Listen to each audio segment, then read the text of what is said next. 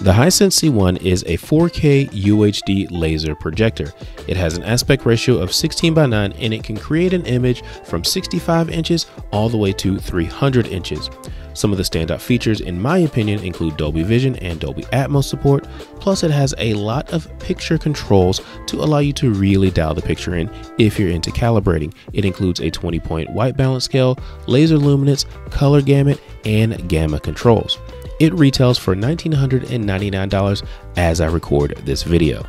What's going on everybody? This is Cody, the home theater hobbyist, and I want to talk to you today about the Hisense C1 4K projector.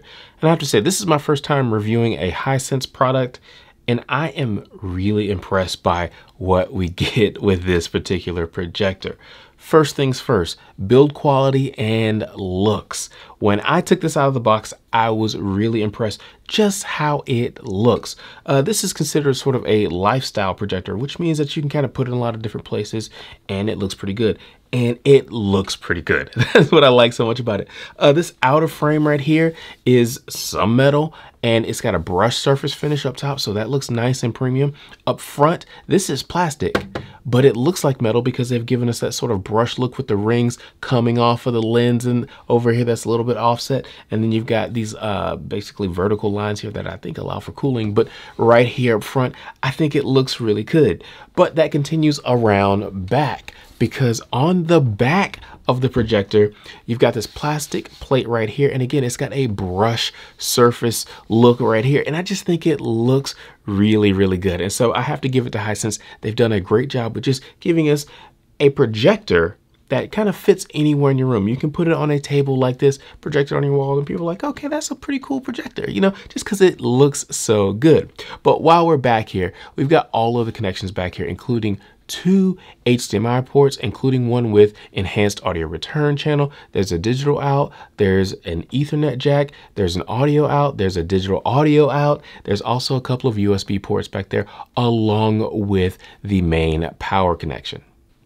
So continuing with looks for just a second. On each one of the sides, you have holes or perforations, which really allows the air to flow through because you've got two fans over here and air flows across here. I'm going to talk about fan noise in a minute, but they've also included speakers, a speaker on this side down here and a speaker on the other side over here. These are JBL speakers and they output about 20 or they have about 20 watts worth of power and they actually do a good job giving you a nice clean, clear sound for a projector. And I'm also going to talk about that in a few minutes, but I just kind of wanted you to see just how this looks. The C1 has several different buttons up top, including a power button, which is really a multi-function button, a pause play button, and volume control. So you can just turn the volume up if you want, and you can pause the content if you have CEC control enabled. But like I said, the power button is multi-function, so you can hit it once and it brings up a menu,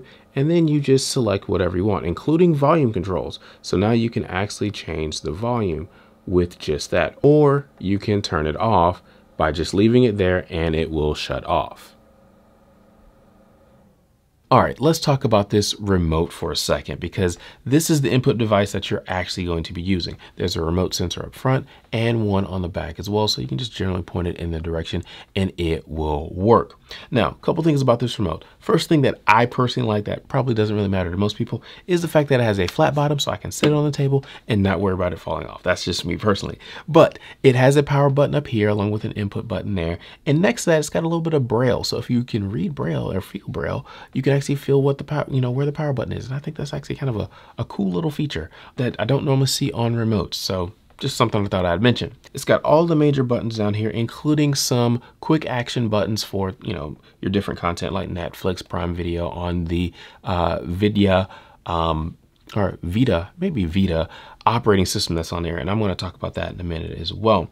But one thing that I like about this projector is it has HDMI CEC control or consumer electronics control built in. So if you have other sources like your Amazon Fire TV Cube and your Panasonic 4K UHD player plugged in via HDMI to this box, you can control them with this one remote. So you can play pause, you can skip forward, you can skip back, you can use the directional arrows and the OK button right here in the middle to actually select your content and do what you want to do all with just using this one remote. Now, HDMI CEC control is not anything new, but you know, sometimes it can be a little bit flaky. Well, when using this remote and this projector with everything on, I didn't have any issues driving either one of these boxes.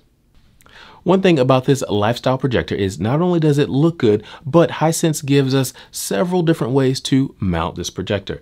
In the box, you get a pair of rubber feet so you can just sit it on a tabletop and project onto your wall or preferably a screen because that's going to give you the best image quality. But you can also unscrew those particular feet and then turn it upside down and use a ceiling mount to mount it to your ceiling but they also give us a little quarter 20 hole in the center of this projector, allowing us to use a tripod like I have here. But I do want to warn you, this projector weighs 10 pounds. So you wanna make sure that your tripod can actually support 10 pounds for this projector. It's, you know, somewhat expensive and you don't wanna be using your little travel uh, tripod thinking it's gonna hold it, it just tips it over and, you know, that's sort of the end. So make sure that you use a tripod if you're going to that can support 10 pounds. Before we talk about audio and video performance, I want to give a shout out to the team over at projectorscreen.com. They sent me this C1 for review and I have to tell them thank you because I like this projector. It's really nice. Unfortunately, I have to send it back, but hey, that's life. Uh, but if you have questions about projector screens, projectors, AVRs, whatever it is, use those links in the description below so you can find out more about their products and contact them with all of your questions.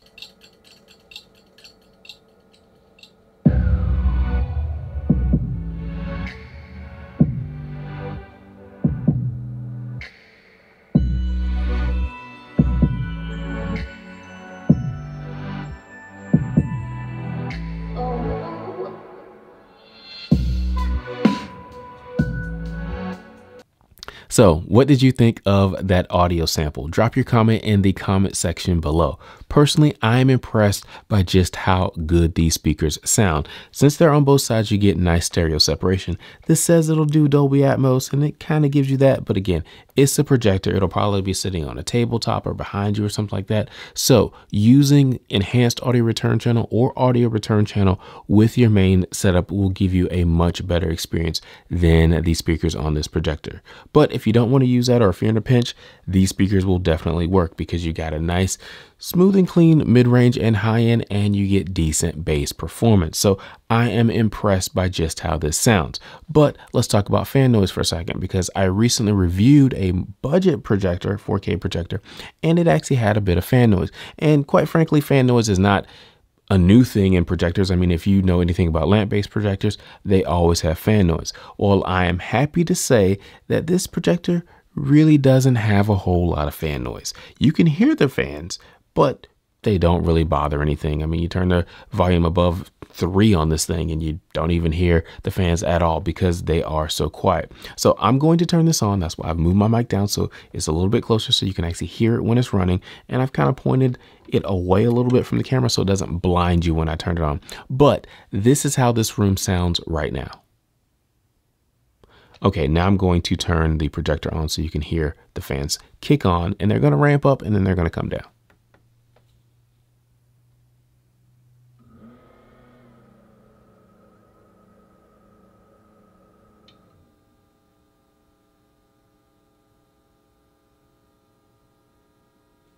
That's it. It's on. It's got the Hisense um, logo over there on the wall just because, you know, it's pointed in that direction.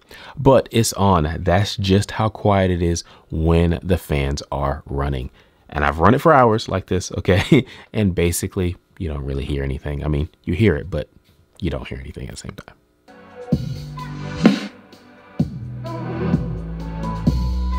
All right, let's talk about the video performance of this projector. And I have to say, I am impressed in a lot of ways with this. And I want to start with the OS. VIDAA, or maybe it's VIDAA. I'm not really sure which one to pronounce it, but this was my first experience. And I have to say, wow, I was really impressed because it is fast, it is fluid, and I would say it's very well featured. And what I mean by that is the app support. I was surprised to see just how many apps were supported on this platform. I'm talking Netflix, Amazon Prime Video, Apple TV Plus, Disney Plus, YouTube, YouTube Kids, Peacock, all of these different apps were on this particular platform. And I just didn't expect it because honestly, this is not a operating system that I'm familiar with. Now, I did notice that it does not support YouTube TV. That is my primary TV provider, but it does have a browser. So I was able to go in, type YouTube TV in there and find it and sign in and actually watch content, which I was impressed by because the browser is also fully featured in that it looks like a normal browser. So like I said, this is really fully featured and I was just surprised and impressed because I wasn't familiar with this particular operating system.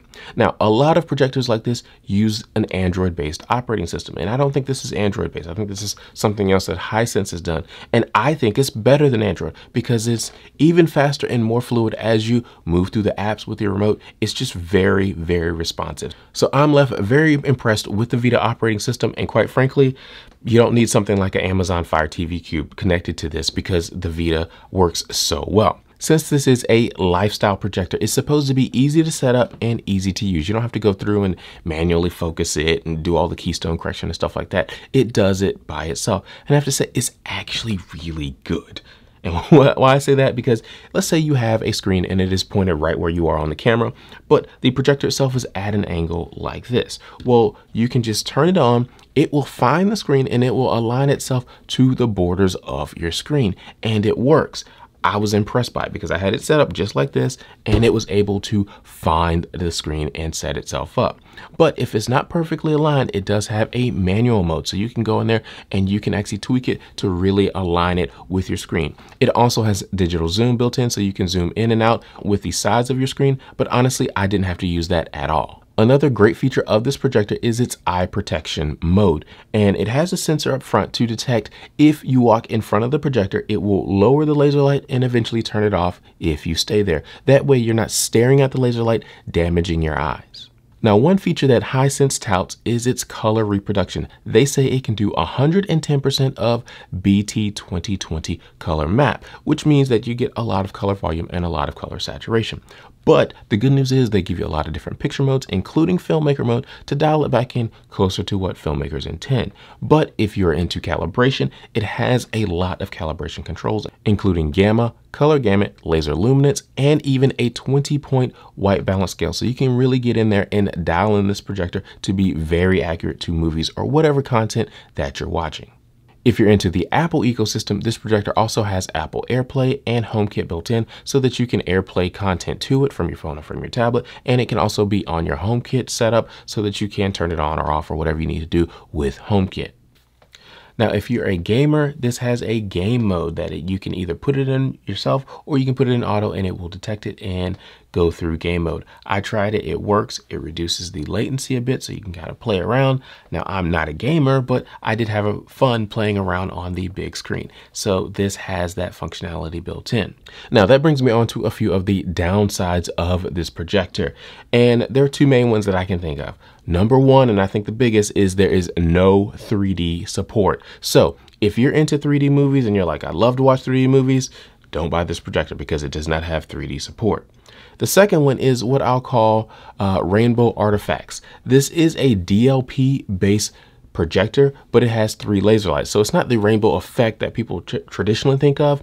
But what I noticed was every now and then when I would blink my eye, as my eye would open back up, I would see like a strip of, you know, red, green, blue color in different sections of the screen. And so I noticed it. It wasn't super often, but I did notice it, especially when I first started watching this projector. I think I've gotten a little bit uh, more accustomed to it, so I don't see it as much. It's not, you know, it doesn't happen as quickly, but I did notice it. So if you are a person who is susceptible to that and you don't really like that with the, with projectors, I would definitely be mindful of it if you're thinking about purchasing that. But if that's not something that you care about, this is a really nice projector. So as you can tell, I like this projector. It's got a nice 4K image that you can get up to 300 inches diagonal, which is nice. And it's got the auto correction and keystoning and stuff. So you really don't have to do much. You can just set it up, let it look pretty and do its job. And it will do its job with HDR10, with Dolby Vision. If you're a gamer, it's got the game mode built in. I mean, this is really nice. Oh yeah, the speakers, they sound good, but it also has an enhanced audio return channel and it works so you can put it on your main system. The VIDAA operating system is snappy and fast. I mean, quite frankly, this is a really, really nice projector. Again, I don't have any issues recommending it unless you want 3D support and you are very susceptible to any DLP rainbow type effects, okay? Then maybe don't look at this. But otherwise, this is a really nice projector and I'm sad to see it go. So if you want to pick this up or anything else, use those links in the description below. Thank you guys for watching. Drop your comments, your questions in the comment section. I'll try to answer them. I'll talk to you next time.